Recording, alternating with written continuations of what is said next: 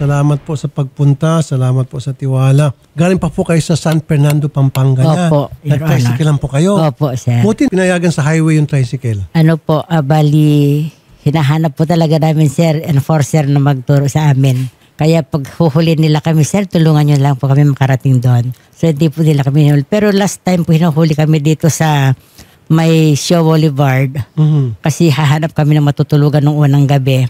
Pero sabing ganyan, kung "Eh, sige, pawawalan ka namin, bibigyan namin to. Kasi sabi po nila, i-impound namin to, sir, ano pang sasakyan namin? Sabi ko po. Oh. So sabing ganyan, anong gusto mo? Sir, syempre, dala namin sasakyan. Sige, bibigyan ka namin ng chance dito. Kaya lang ang dadaanan mo dyan, MMDA. Sabi, tapos pumunta ka doon sa park. Sinabi po silang park, sir. Tanggal niyo na pong face mask niyo. Okay lang. Sige, para maintindihan namin kayo. Sige po. Apo. Ilang araw kayo nakarating dito mula Pampanga? Bali, umalis po kami doon ng 4 o'clock, sir. Nakarating kami dito. ah, nasa 1 o'clock na dahil po umulan, sir. 1 o'clock, 4 o'clock na madaling 4 araw. o'clock ng madaling araw. Ano Opo. oras nakarating kayo dito? 1 o'clock na, sir, kasi umulan po bago kami 4 nakarating o'clock, dito. 4, 5, 6, 7, 8, 9, 10, 11, 12, 1. 9 Opo. hours. Nasiraan po kasi kami, sir. Nasiraan pa. Opo. So 9 hours ang biyahe. Pam, sa bagay, tricycle nga pala, hindi kayo makatakbo naman. Opo. Gumamit kayo ng NLEX o Hindi po, Box. MacArthur po. Tapos pagdating MacArthur. sa may kawayan, opo, ah, doon nag pinalihis-lihis po kami sa ano kasi hindi kayo pwede dito sa sa monument back mismo. road kayo, sa mga city Opo. driving back road. Opo. O nga, bawal nga pala sa highway yung ano, Opo. yung tricycle. So ilang beses kayo na para? Bali, madalas po sir kasi pag mula may kawayan, sinundan na po kami ng enforce, ano, mga Ano enforcer. sinasabi nyo pag hinuhuli kayo? Sabi, sir, tulungan nyo lang kami kung pwede nga po isa kayo sana kami sa sakyan ng MMDA para kami makarating po kami doon kay Sir Tulfo, sabi po namin. o anong sabi ng mga eh ano? sabi, eh sabi, sige, daan na lang kayo dito, tapos pawawalan na po nila kami. Ang bait naman. Pasalamatan mo Napo. yung traffic enforcer. Kung matanda mo Napo. pangalan, sige, pasalamatan. Ah, lahat po ng nadaanan namin ng mga traffic enforcer, magmula po doon sa may kawayan hanggang po dito kay Sir Tulfo. Salamat po sa inyong lahat. Kasi po talagang tinulungan po nila kami at napakababait po nila. Tricycle driver po kayo, Nay. Opo, bibiyahe po ako ng, ng ano, mga gulay po. From Tarlac po, kumukuha ko doon ng gulay, binabiyahe sa San Fernando para po itinda. Gamit yung tricycle. Opo. Nakailang oras naman kayong biyahe niyan? Bali, pinakamabagal ko po yung 4 hours. 4 hours. From Santa Ignacia, Pilpila po. Namumuhunan kayo ng gula. Opo. gulay. Bali doon po nagtatanim yung mister ko kasi nung pong ah, hindi na siya tanggapin sa trabaho dahil 63 years old na po siya. Ah. May kumausap po sa amin na kung gusto niyo magtanim kayo doon sa farm namin para sa inyo lahat. Sa inyo lahat yung Kumusta kita. naman po yung kitaan? Wala po sir kasi nabaha po nitong nagtag-ulan lumubog lahat. Pati po yung nilagay namin fingerlings, nag-overflow po nga, yung kasi fish sa- pan. Pag may ani, doon kayo magkapera. Opo. Paano kayo makakaani? Ibinahanga. Opo. So wala, wipe out. Opo. Naku, at meron kayong anak na ginagamot nyo. Ano Ilan po kasi nag-maintenance? Apat po sir.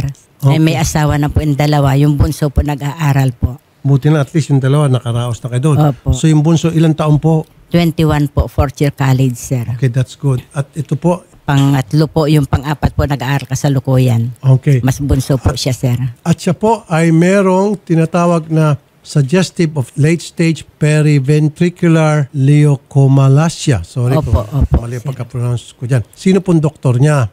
Ah, bali, isa po sa San Fernando si Dr. Ho- Jose Bianson Mamangon, saka po sa Mariveles, sir.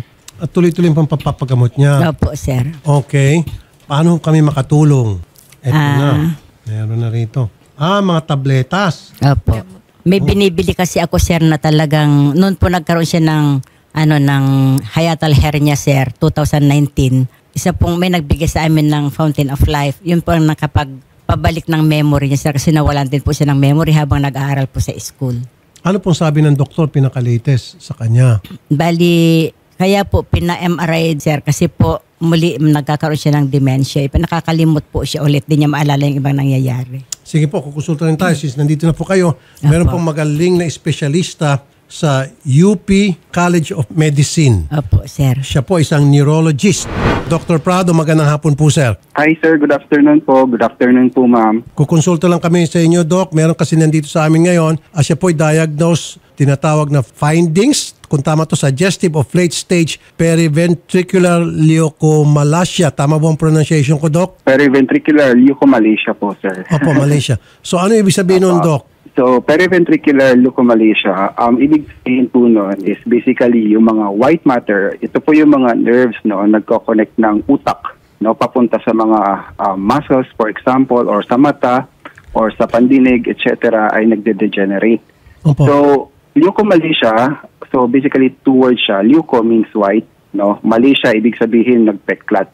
So most of the time, yung mga pasyente po na nagkakaroon ng periventricular leukomalacia is basically mga pasyente na premature or very low birth. Ibig sabihin masyadong mababa yung timbang to the point na yung brain po nila or yung mga white matter nila or yung mga nerves na nagko-connect sa ibang parte ng katawan is hindi po hindi po masyadong nag-grow o hindi po nagde-develop. Um, kaya po ang nangyayari is nagkakaroon po sila ng tinatawag na cerebral palsy or nagkakaroon po ng um, global developmental delay, etc. po. Yun po, yung ibig sabihin ng periventricular leukomalacia. Kumusta naman po yung pag-asa na siya po ay gumaling at maging normal na later on in the future? Ang problema po sir, ang problema sa utak is once nagkaroon po ng damage sa utak, um, hindi na po siya talaga bumabalik sa dati. No? Parang sa stroke po sir, kung mapapansin nyo, yung mga pasyenteng nagkaroon ng stroke, once nagkaroon po sila ng stroke, tapos nanghina yung isang side, magkakaroon lang po ng counting improvement. Pero hindi na po siya babalik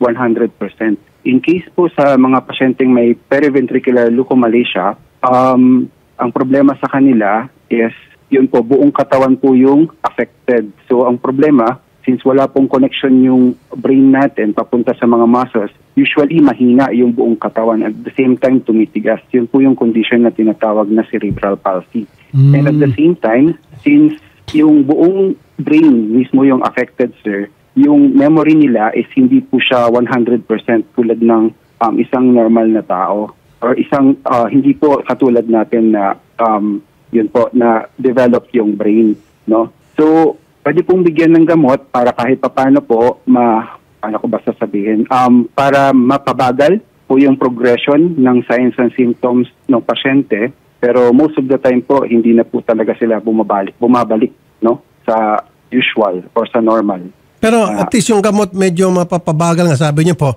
makakatulong, ma-address Yes po. yung simptomas siguro. Tama ba, Doc? Yes po. Yes po, sir. Um, most of the time, kung mapapansin niyo po sa mga cerebral palsy, since matigas po yung kamay nila, most of the time ang binibigay po is pampalambot ng mga muscle, no? Tapos sa memory, like for example, pwede pong mabigyan ng mga gamot para kahit papano, mas mapabagal po yung um, symptoms or progression. Ito, ng Doc, tinan mo kung tama tumagamot dito, Doc, na Tenonin, Tabs, Esivex, Neurobion, Aspidon, and Akidin. Familiar po sa inyo yan, Doc? Yes po. Yung Akidin po is usually binibigay po yan sa mga pasyenteng may Parkinson's disease. Yung Parkinson's disease po, usually condition po siya kung saan tumitigas yung mga muscle. Mhm. No? So, pwede pong binibigay yan para mapalambot po ng kaunti yung muscle. Yung Neurobion is vitamin D complex po para sa mga nerves. Tapos yung Esivex, um, antidepressant po siya. So, binibigay po siya sa mga pasyenteng depressed. Tapos, ah, yung Tebonin po is, ang alam ko po, Tebonin po siya. no? Ah, Tebonin, So, maaari nga po. Apo. Yung Tebonin po is ginkgo biloba. Um, kwan po siya, binibigay po siya sa memory. Ah, maaari na. Ito na nga yun. Oo. Yes po. Ito Apo. yung medyo mahal-mahal ng konti. Meron pa yung Aspidon, Esivex. Aspidon, yes po. Aspidon is respiri- ah, risperidone po yung generic name niya. Yan po is usually binibigay pag mayroong hallucination or delusion yung isang pasyente or kung hindi po makatulog, pwede rin po siyang ibigay. Ayun. No? So yun po yung mga purpose ng mga gamot na binibigay sa pasyente po. Doc, maraming maraming salamat po sa time na binigyan niyo sa amin. Mabuhay ho kayo, Dr. Mario Prado Jr., Neurologist, Department of Physiology, College of Medicine, UP College of Medicine. Doc, mabuhay Thank po kayo, po, Doc. Senator. Thank, you po. sir. Maraming pong Thank salamat. Mahal nga ang gamot ni Ma'am Naomi. 37,610. No problem. Gaano katagal itong gamot na worth 37,000 po? Bali, three months po. Three months. Sir, opo, sir. Oo. Eh, gawin na lang nating ano, one year. Gusto nyo? Pwede po. O, 37 times 4, i-add mo nga. Hindi ba ma-expire ng one year itong mga gamot? Make sure na hindi mag-expire. Opo.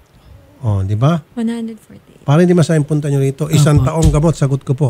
Oh, salamat po. Ayun. At syempre, bigyan din natin si nanay. 148. Eh, may butal yan. Isarado natin 200, ma'am. Opo. Salamat Okay po, sir. Opo. Pero yung pera, Mamuhunan. since nagtatricycle lang kayo, baka maharang kayo, may bank account ba kayo? Meron po, Good. sir. Doon natin i-deposito. Apo. Para pagpunta nyo doon sa inyong lugar, tamang-tamang pera lang dala nyo. Opo. Kasi kung maraming makakapanood nito, baka Opo. harain kayo dyan sa kalsada. po Ayaw eh. mangyari yun. Opo, sir. Sige po, Nay. Opo. steady lang kayo. Ita-transfer ko sa bank account ninyo Opo. yung mga pera. Of course, bibili na agad tayo Opo. nito. Opo. Kahit yung po mauna sir yung tenon na sinabi yung sa Hindi, ginkgo. bilhin natin ito lahat kasi bibigyan ko naman kayo, di ba? Opo, opo, sir. Ito na lahat, oh. Eh, Opo. Siyempre, sino ba mang hold up ng gamot? ito na lahat. Opo. Itong isang pasadahan to, itong 3 months, worth 37,610. Opo. Oh, di ba? So, Opo. 3 times 4, o 1 year. Tama? Opo. O, 1 year ang bibili, bigyan ko sa iyo. Salamat po, Hanggang sir. next year na ito. Salamat po, Merry sir. Christmas po. Merry Christmas po, sir. Sige po. Thank you po. Siyempre, doon sa sobra, eh, magkano ba yung sabi, tinad mo? 148 po. Oh, so, 50. So, meron siyang 52. 52,000. Magkano po ng gasolina nyo papunta rito? Ah, bali, 500 lang po yung papunta. Ah, Pero oh, hindi. matipid po. Alisin natin doon sa 52, di, sa 2,000, okay na ba? Opo. Yung gasolina nyo doon plus yung hotel. Opo. Oh, may 50,000 pa kayo. Opo. Okay, sige ma'am, okay na, approve. Thank you Approve po. po. Thank you God po, bless sir. po. Pwede ko po kayong ipag-pray. Ay, sige po, sige po, wow naman. Lord, pinagpa-pray ko po si Sir Tulfo, pati po yung mga kasama po niya na staff and crew niya po dito. I-bless mo po siya, Lord. Ikaw po yung magbigay ng mahabang buhay sa kanya, strength at saka po courage palagi na tumulong sa ibang tao. In Jesus' name, Amen. Religyosa siya. Magaling siya magdasal. Um, pwede po akong makahingi pa ng isa pong tulong. Sige po, sige. Ano po, ah, gusto ko po sana na makapag-aral po ako. Aral, of course. Nag-aaral ba siya ngayon? Tumigil, Naka-stop sir. po Kasi ako. po, ah, nag-working student din yung, yung kapatid niyang bunso na sinusuportahan lang din. So, sabi namin, hintayin mong matapos yung bunso kasi nagkasakit nga po to. Kailan pa? Sabi po niya, so bali, two years Ang na po galing naman. natigil. Siya mismo mo gusto mag-aral. Opo. Okay. Sa saan eskwelahan siya dati? Ano po sa Christ in You po. Christian School, private po. Sir. At ipaaral natin doon. Opo, salamat Pero tama po. yun. May gamot siya para Opo. makakapag-function pa rin siya. Kasalukuyan po siya nag-aaral, sir, nung malos memory siya na hindi niya na maalala yung advisor niya, yung pangalan, tapos hindi niya na-submit yung kanyang project dahil hindi niya alam yung room ng isang sir niya. Pag uwi, sinabi niya. Then, talaga pong blessing din ni God na nagpunta kami kasi lagi po kaming herbal ang ginagamit, sir, sa mga moringa, ganyan, umattend kami dalawa. Meron pong Chinese na nagbigay sa amin nung Fountain of Life. Hindi ko po kilala yun noon. Pero nung ginamit po niya, nawala po yung pagsusuka niya. Six months na po nagsusuka noon, sir. At saka nagkaroon po siya ng hiatal hernia. Saka yun po, bumalik yung memory niya. Anong grade po niya? Sec- third year na po siya pagpasok, Third year sir. high school. Opo. Hmm. Dapat po graduate na siya ng college. Kaya lang po, lagi, lagi nagkakasakit po. Nat- Natitigil. Opo. Hmm. Ah, Noemi, pasalamatan mo mama mo. Sinamahan ka pa rito. Ang bait-bait. Mahal na mahal ka ng mama mo. Pasalamatan mo siya. po. Masalamat po sa lahat ng ginawa niyo po para po sa akin. Yeah, mahal na mahal ka namin, anak. Lahat naman kami nagmamahal Saka sa'yo. po ano po, um, total nandito na rin po ako. Pwede po bang pasensya na po kayo kung lulubos-lubusin ko na po. Sige. Ano po, um, makahingi po ako ng tulong na pantrabaho po ni na mama at papa tsaka po pangtindahan po ng ate ko. Pag-usapan natin yan. Kami po ay pupunta doon sa inyong lugar. Opo, sir. Sinasabi niyo na wipe out na yung kabuhayan ninyo. Opo. So, tingnan natin kung ano po yung pwede maitulong namin sa inyo, Nay. Opo, opo. Kasi hindi naman yung pang ah, habang buhay palagi kay asa sa, sa ibang tao. Totoo po. Di ba? Itong Opo. ibibigay namin gamot, one year, di, Opo. paano naman ulit? Saan kayo pupunta? Opo. So maganda, meron na kayong inaasahan sarili, self-sufficient na kayo. Opo. Kayo na mismo ang gumago ng paraan to your Opo. pawis Opo. na para mapunuan yung mga pangailangan ng anak nyo, Opo. lalo na ito may Opo. sakit. Opo. Sige po, okay na yan. Salamat po, sir, Ah, ng For the marami. meantime, itong 200,000, hintayin nyo po, bibigay ko at ah, ilalagay na sa bangko yung iba, yung iba Opo. bili mo ng gamot agad. Okay? Opo, opo. Ma'am, yung tricycle ninyo, hindi na kayo uwi ng naka-tricycle. Ay, May pick up po kami, isasakay namin sa pick up namin yung tricycle ninyo. Pick up ko, Opo. may pick up ako eh. opo. Oh, tapos kayo ay nakasakay na sa pick up. Opo. Okay? Thank you po, sir. Para mapabilis. Opo. Yung 8 hours nyo, gawin na lang natin 30 minutes. Opo. Oo, di ba? O, 1 hour Opo, pala, sir. 1 hour. Okay Opo, sir. Opo. Ganun kami Opo, dito sir. eh. Pinaiksi namin Opo. palagi. Past eh. Thank you Oh. po, sir. Kanina, 8 years, 1 month. O, sa'yo, 8 hours, 1 hour. Opo. di ba? Opo. Thank Hindi, you po, 8 years, sir. mga doktora. Oo. One month, nasolve natin. Sa inyo, Opo. 8 hours na biyahe nyo, gawin natin 1 hour. Thank you Awa, po, masyado sir. mabilis na. Gawin Thank natin you po, mga sir. One and a half. One and a half hours. Opo, sir. Thank you po. Sige ma'am, ingat. Sige. Eh may mga nagsabi masyadong sobra-sobra daw. Okay. Ah, sabi ni Aquarius, ganito po yan. Bibigyan na rin lang ako, lubos-lubusin ko na rin. Kasi nga po gamot yun eh. Pero kung yan ay kung ano na lang, mga gadget, hindi ako bibigyan ng ganong kalaki. Kaya ako nilakyan kasi nga po one year supply na gamot. To make sure for the next 12 months, hindi na sila problema maghanap kung sa bibili. But anyway, Aquarius, salamat. Sabi naman Rosie Rose, nakakaiyak naman daw. Yeah, ganun po yan. Pero kung ang hiningi niya kung ano mga gadget, hindi ako bubuhos ng tulong, especially pag ano may sakit. Diyan tayo bumubuhos ng tulong mga PWD. Malambot ang puso po natin ng inyong lingkod pagdating sa mga tao may sakit, may mga karamdaman at mga PWD.